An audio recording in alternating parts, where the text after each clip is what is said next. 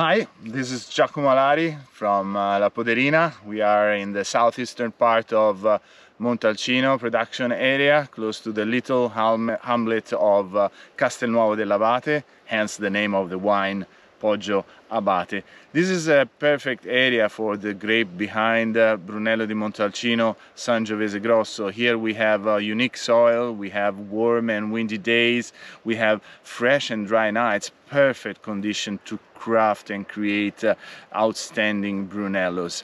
Poggio Abate Brunello Riserva is crafted using only the grapes that comes from some parcels uh, from uh, Fonte Antica vineyard, which is one of our cru vineyards. 2010 vintage has been really uh, blessed and great, uh, uh, very complex uh, but elegant at the same moment. I would like to wish you all the best and would like to thank you